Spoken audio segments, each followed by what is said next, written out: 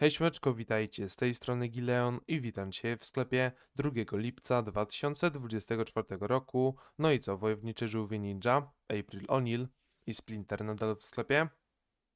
Marvel to samo. Powróciła Królewska Tęcza.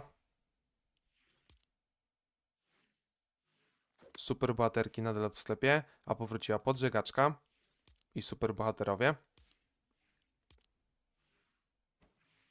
Figurka Volt, Boja i dowódca drużyny mechów to samo. Zestaw Joey Caliente nadal w sklepie. W transie za 500.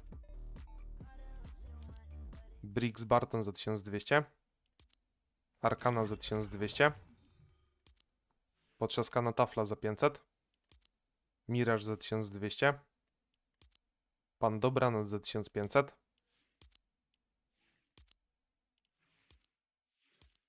Zestaw żołnierzy Słońca za 1200, jeśli mamy jednego skina.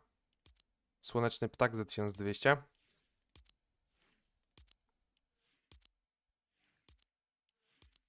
Wzlot Słońca za 800. Astekilow za 800. Mesmer za 1200. Metallica to samo. Nissan Z Performance nadal w sklepie. Dopalacz poligonalny to samo.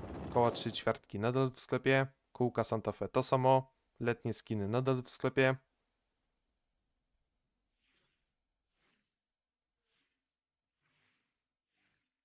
Sprzęt na festiwal to samo. Ścieżki jamowe nadal w sklepie. Zestaw Lego to samo. Powrócił zestaw Akry Anarchii.